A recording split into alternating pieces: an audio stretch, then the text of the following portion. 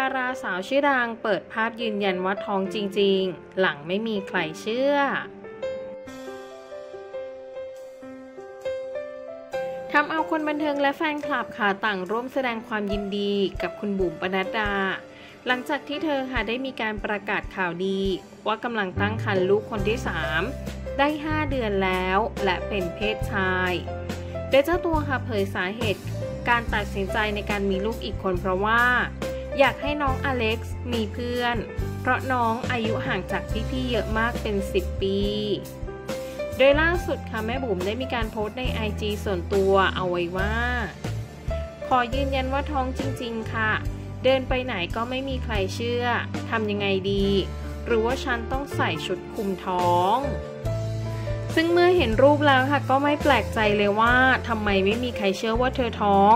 เพราะว่าหุ่นของแม่บุ๋มนั้นยังเป๊ะปังไม่เหมือนคนท้องเลยทีเดียวละค่ะ